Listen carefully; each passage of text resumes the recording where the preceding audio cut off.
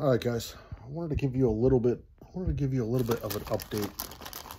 Not that anybody really cares. All right, guys. Well, I've been fishing the river. I've been fishing the river. All right, let me give you, let me give you an update. So, all right. I've been mainly doing, I've been mainly, I've been mainly flipping. Uh, I'm mainly flipping a jig. Uh, the water's been muddy. I'm working, I'm working a rock ledge. Okay. I'm catching them, I'm really catching them two ways. I'm catching them flipping a half ounce Booyah Boo jig. Black it, it's always black and blue. I don't even think I've tried a pumpkin, green pumpkin at this point. It's got a Rage Craw trailer. Uh, when the bite got when the when the bite got tough, I also I switched to a little baby finesse jig with a Yum Craw Pappy trailer. Now that Yum Craw Pappy is a little bit more subtle than the Rage Craw. Okay, the Rage Craw, the Rage Craw has those big has the big flappers on it, which is perfect for that muddy water. Okay, when I I'm slowly pulling that jig into the rocks. Okay. I take up my slack and I'm just, I'm just, I'm just scraping. I'm just scraping that rock. Okay. And, uh, that's, it, it's mainly a reaction strike. Okay. That's what it is.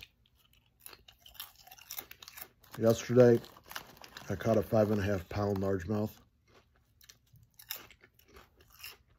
Probably on like four, my fourth or fifth no, I was maybe there for five minutes. I caught a four pounder. I caught the four pounder swimming, swimming the jig. The five and a half pounder came on a, on a Texas rigged sweet beaver with a 3 16th ounce Picasso bullet weight. I really like those bullet weights. The reason why I use those tungsten ones, there's a little bit more tungsten in those. You get a little bit more sensitivity.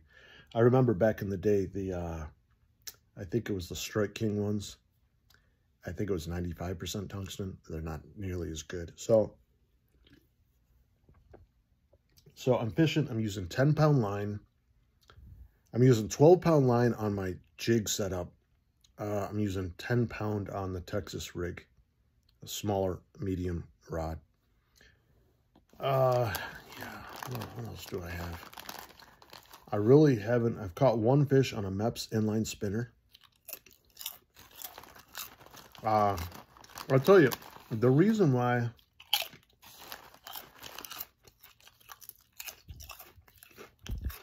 the reason why I don't fish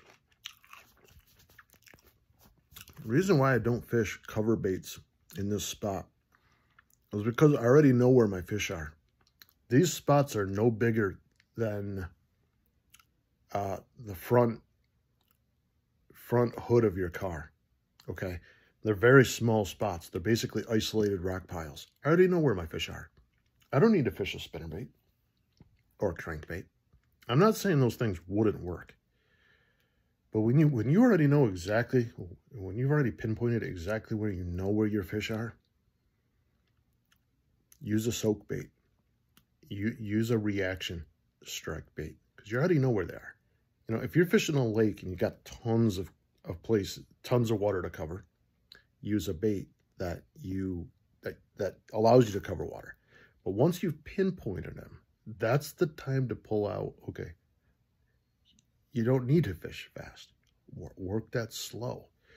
Usually, the slower the better in that situation. All right, guys. This is my update for now. You can subscribe if you want. If not, I'll hunt you down, boy. All right.